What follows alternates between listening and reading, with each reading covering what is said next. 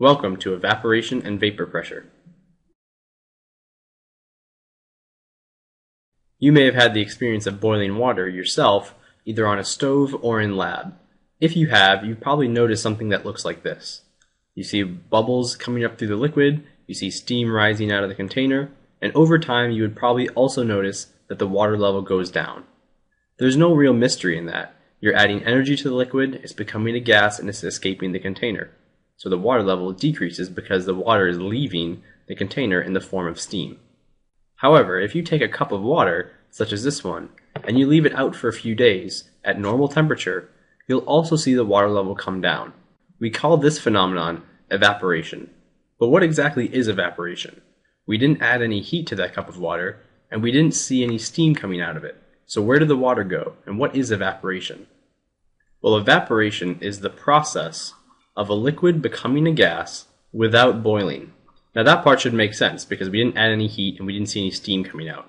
So there's no boiling going on. So let's examine the molecules in that cup of water. Here I have my cup of water. And in my cup of water, there are all these molecules of water at the surface. So these are molecules of liquid. Now what's happening with evaporation is that every now and then one of these molecules escapes the liquid. So every now and then we get a couple molecules that are able to escape the liquid surface and they become a gas and they eventually leave the container. And after enough time has gone by, this results in a lowering of the amount of water in the cup. So we see the water level come down just like we did with that picture of the cup of water. Well, how can this happen? How can some molecules at any given temperature randomly break free of the liquid and escape into the gaseous state and then leave the container? Well, remember that temperature represents the average kinetic energy of a sample. So at some temperature, we have a range of kinetic energies. So some molecules are moving very fast and some molecules are moving very slow. In fact, if you remember the energy diagram, which relates the kinetic energy to the number of molecules in the sample. So there's a distribution of different kinetic energies amongst all the molecules, and that distribution looks like this. Now the average kinetic energy, that's what the temperature tells us, the average is represented right around here. Here's the average kinetic energy, and that's what we get temperature from. But you'll notice there's a small portion of molecules way out here, this section right here, this number of molecules way out here, that has a very high kinetic energy. And it's that portion that have enough kinetic energy, meaning they're moving fast enough, to escape the liquid. If those molecules with this high kinetic energy randomly end up near the surface, there's a chance that they'll just zip right out of the liquid and leave the liquid behind. So there's some minimum amount of energy, a minimum amount of energy needed to escape the liquid. And this is what causes evaporation. This small number of molecules that has just enough energy to actually escape the liquid and become vapor. Now something interesting happens when these molecules actually leave. When these high energy molecules leave the sample, it actually shifts the average kinetic energy lower because you're getting rid of the very high numbers, so it drops the average. By dropping the average, the temperature drops as well. So evaporation has a cooling effect on a substance. Now let's say these gas molecules are escaping the liquid. So I've got a couple gas molecules right here above the liquid. They've escaped the surface of the liquid and they're all moving in random directions, just like gases normally do. They're going all over the place. And because they're moving all over the place, they can collide with things. And those collisions cause pressure just like any other gas would cause pressure. So the vapor that's produced above a liquid due to evaporation generates its own pressure, and we call that the vapor pressure. So let's take a closer look at that cup of water. Here's the surface of the water, and here are all the molecules near the surface. So as molecules escape the liquid, we start getting vapor molecules that exist right above the liquid, now some of them may eventually leave the container altogether, but for a while there may just be some floating above. And they're generating vapor pressure. Now you may think, well as time goes on, why aren't there just more and more molecules escaping? why doesn't vapor pressure just keep getting larger and larger and larger the more time you leave this cup sitting outside? Because the more time you allow the cup to sit outside, the longer evaporation will go on for, and you'll get more molecules sitting above the liquid. But what we see happen isn't the case, because as you increase the number of molecules right above the liquid, you also increase the chance that some of these molecules will impact the liquid and return to the liquid, leaving the vapor. So some of these have a chance of re-entering the liquid or getting recaptured by the liquid, and so they're no longer in this vapor phase. But eventually, what you'll see happen is that there's a balance. As molecules leave, other molecules get recaptured, and we end up with a fairly steady number of water molecules, vapor molecules, sitting right above the liquid. And that results in a pretty constant vapor pressure. So at this balanced state, where the number of molecules leaving the liquid by evaporation equals the number of molecules being recaptured by the liquid, that's the point where we measure vapor pressure.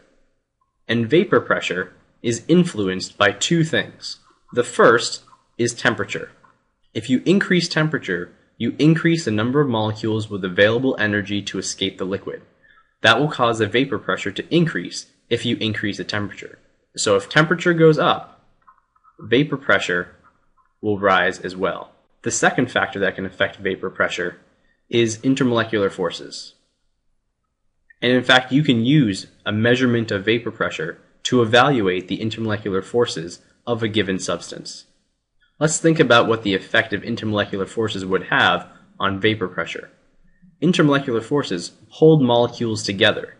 So a substance with a high intermolecular force of attraction, that substance would have a harder time letting molecules escape, and that would result in a lower number of vapor molecules right above the liquid. So if intermolecular forces are high, then the vapor pressure is going to be low. Let's take a look at some examples of substances and their vapor pressures. Here we have a pretty typical looking vapor pressure curve for several substances. There's one for diethyl ether, there's one for ethyl alcohol, and there's one for water. There's also another substance down here, but we can't see the curve too much, so we'll focus on talking about these three substances for now.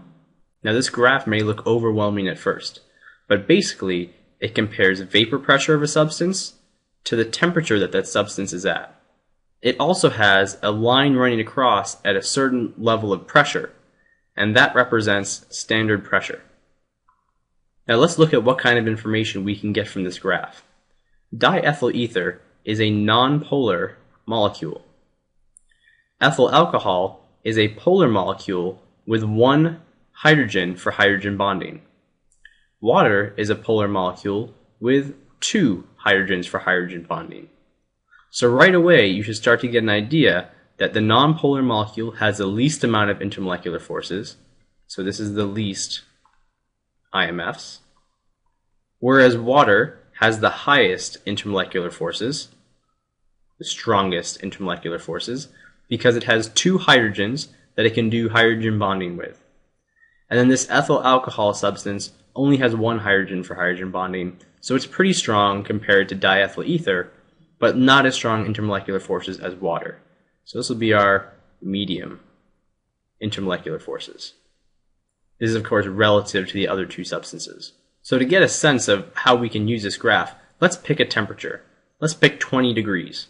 And we'll compare these three different substances at 20 degrees.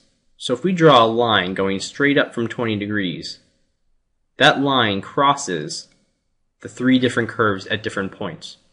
So at 20 degrees, the nonpolar substance has a vapor pressure a little under 500 torr, estimated of course, it's a little less than 500.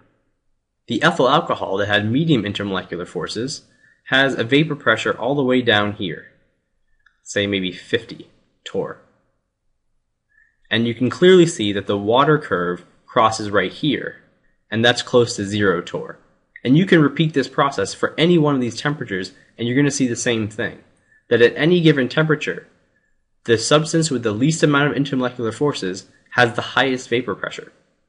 And it has a high vapor pressure because it's unable to hold on to its molecules through intermolecular attractions. That wraps up our lesson on evaporation and vapor pressure.